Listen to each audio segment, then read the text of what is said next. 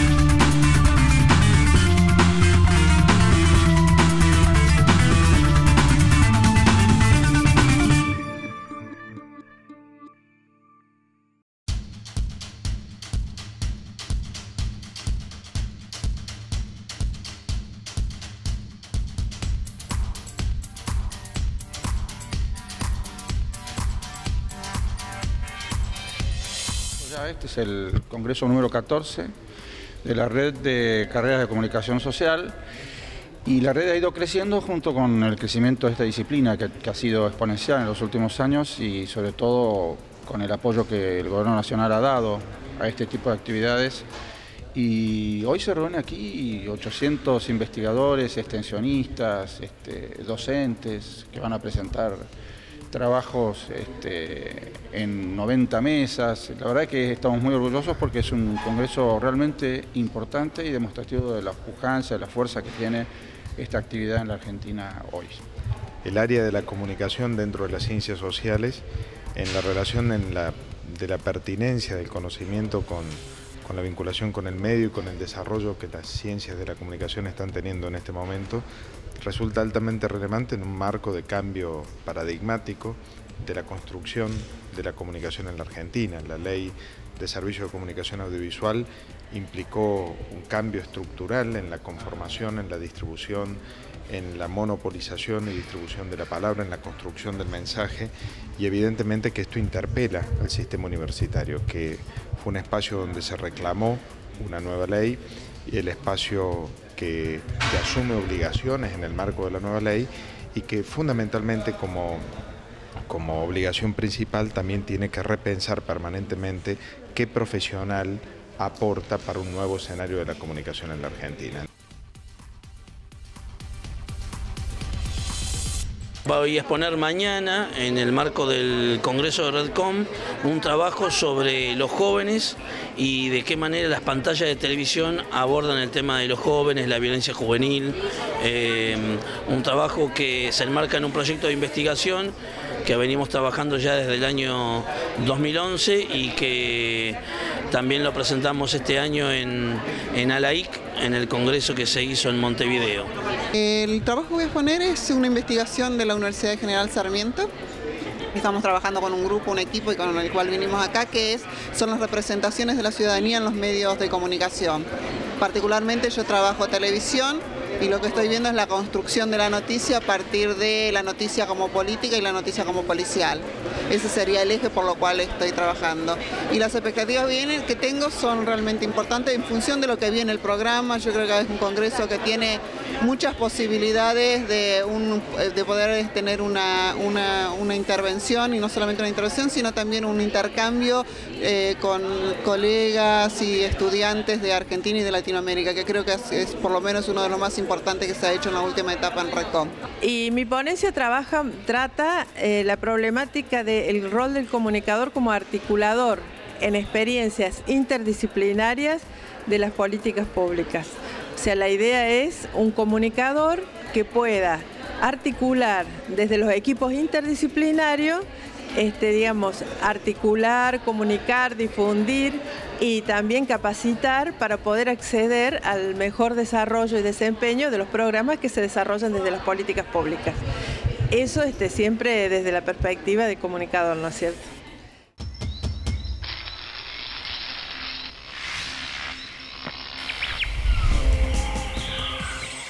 Pues acá en la Universidad Nacional de Quilmes, esperando la, aparición de la presidenta. ¿También en qué anda, en qué anda eso, Nora, vos que estás bichando por ahí? Es una satisfacción, un desafío muy lindo tener que venir. Eh, radio Nacional es la radio pública, la radio pública forma parte, creo yo, debería formar de un proyecto de comunicación, de nuevos proyectos de comunicación, y en una universidad también pública y en un encuentro de comunicadores eh, es, muy bueno que intercambiemos. Una presencia un día o un rato tiene un sentido simbólico, digamos. Este, uno, uno viene, la hace su laburo, pero también es esto, me parece, me parece para nosotros tratar de divulgar un poquito o abrir a un público general, a un público interesante, interesado y politizado como el de Nacional, un espacio de esto. Eh, para, para los compañeros una demostración de lo que nos interesa esto y, creo para, digamos, y, también una oportunidad de aprender y de intercambiar. Y un símbolo de lo que tienen que ser las radios públicas y todo el espectro de radios sin fines de lucro que hay en la Argentina, que empieza, digo que, tiene una larga trayectoria, pero que empieza a tener una protección legal y que va a ser un futuro que todos estimamos mucho mejor, pero muy, muy difícil de construir también.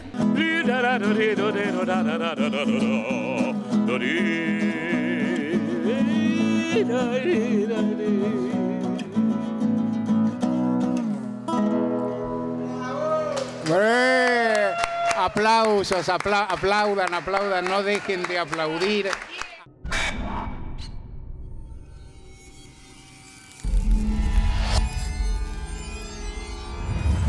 ¿Cómo caracterizarían el contexto actual eh, que repone esa mirada sobre, sobre la crítica, sobre la politización de la academia, sobre el rol eh, público de, de, la ciencia y de la reflexión académica. no, yo creo que un momento fuerte en, la, en el despegue, en el, en el, inicio, yo creo que fueron los procesos eh, políticos eh, que se dieron en América Latina a principios de los años 70 o a fines de los años 60. Yo creo que no se puede disociar las realidades, digamos, los proyectos de cambio que hubo en América Latina en esa época. Lo que muestra que, digamos, el pensamiento comunicacional estaba muy ligado finalmente a una reflexión política.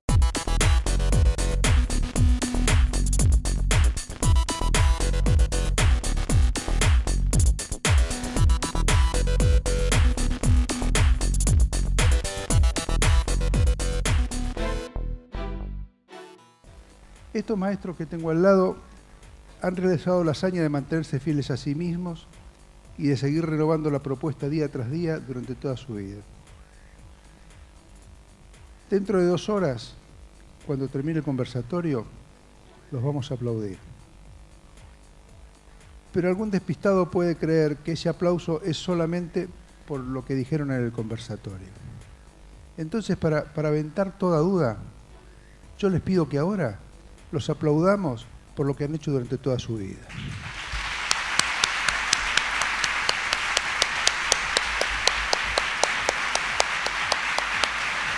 No hay una sociedad, rápidamente se entiende esto, al margen de nosotros.